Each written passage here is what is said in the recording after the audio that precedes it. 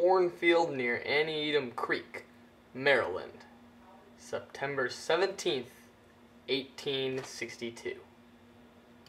It's just before 6 a.m., and the Union First Corps is preparing to advance on Confederate General Thomas Stonewall Jackson's forces north of Sharpsburg.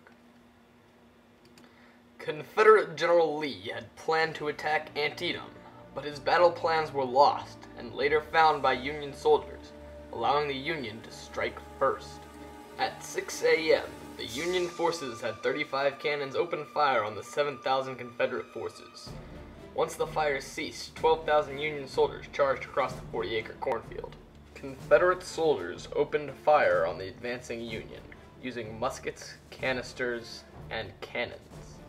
Shortly before 7.30, the Confederate lines almost gave in, but Confederate Generals Hood and Hill reinforced the Confederate lines and stopped the advancing Union I Corps.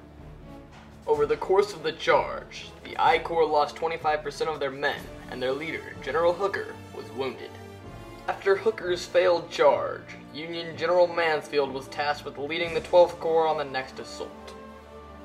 Mansfield led his men into the fray, but was mortally wounded at the start.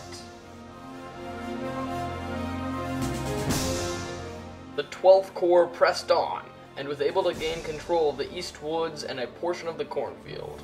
Overall, the assault lasted 29 minutes. At 9 a.m., General Sumner began the final assault on Jackson's position, coming down from the northeast. The lull in fighting had allowed Jackson to readjust his lines, preparing a trap for the oncoming 18,000 Union soldiers. In less than 20 minutes, Sumner's forces suffered a casualty rate of 50%. With the Union forces in chaos, General Jackson ordered his troops to charge into the cornfield and attack the Union forces in the north. Union troops, hidden from view, opened fire on Jackson's advancing troops.